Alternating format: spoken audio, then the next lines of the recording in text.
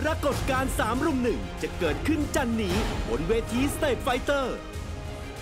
เมื่อพระเอกอย่างศรรามไม่เลือกเพื่อน แต่ตัดสินใจที่จะใช้กลยุทธ์ก้าวสู่แชมป์สมัยที่ 2 โดยการขอสู้แบบลำพังตัวคนเดียวคราวที่แล้วเนี่ยมันก็พลาดเดี่ยวฟัดเดี่ยวมาด้วยไหนๆก็วันนี้ก็มาลุยเดี่ยวในไมค์หมู่สู้ฟัดเหมือนกันและทีมผู้ท้าชิงใหม่ ที่รอขย่ำขวัญใจมหาชนอยู่ ก็คือกลุ่มนักร้องสายพลัง อย่างสโหนน้อยเรือนงาม มันแอบลุ้นมากเลยนะ ตอนนี้นี่เขาก็มาสายพลังเต็มที่แล้วแบบนะ ส่วนนี้เขาก็คือฝันใจ3ทุ่ม45 นาทีจันนี้ ติดตามความดุเดือดกันให้ดี กับ Stage Fighter ไมค์หมู่สู้ฟัด